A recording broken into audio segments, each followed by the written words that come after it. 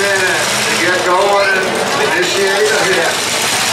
Number 57 has one minute to get going and initiate a hit. Isaiah Zamora, big black car down at the south end.